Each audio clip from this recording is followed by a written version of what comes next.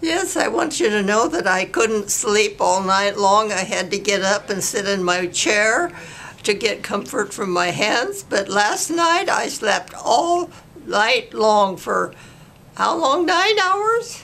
Yeah. It was wonderful. And I didn't have to get up and sleep in my chair.